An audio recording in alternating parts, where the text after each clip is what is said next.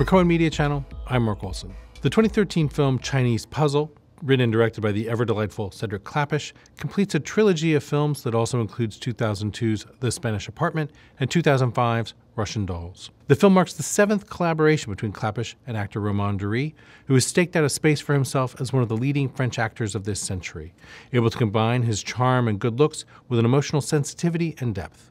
A Chinese Puzzle finds Duris returning to the role of Xavier, a novelist.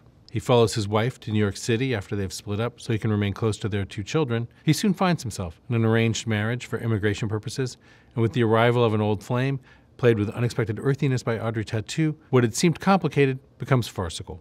Yet through it all, Klapisch and Duris keep things in the realm of the possible, a romantic comedy about the provisional nature of family. The continued collaboration between Klapisch and Duris marks a new chapter in the ongoing maturation of a character marked by warmth and emotion. If you like the film, please also see the 2011 drama Delicacy starring Audrey Tautou.